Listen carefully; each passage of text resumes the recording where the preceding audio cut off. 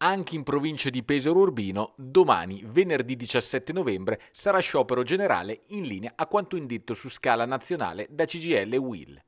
Anche nella dimensione locale, la CISL non parteciperà ad uno sciopero che da ieri è stato ridimensionato da 8 a 4 ore e che dovrebbe avere disagi limitati sui servizi pubblici essenziali nella fascia compresa fra le 9 e le 13 per quel che riguarda trasporti come treni, autobus e taxi.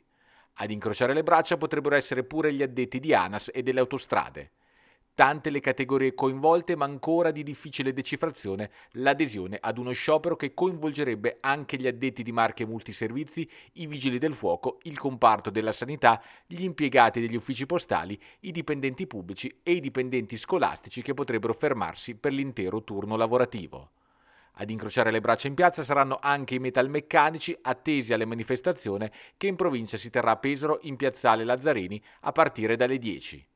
Si sciopera contro la manovra di governo penalizzante sul tema pensioni e sulle mancate promesse in tema di stabilizzazione di precari per un'emergenza salariale sempre più acuta sotto l'incudine dell'inflazione. In piazza, al fianco di lavoratori e sindacati CGL e WIL, ci sarà l'intervento di Lucia Grossi, segretaria nazionale della WIL Temp.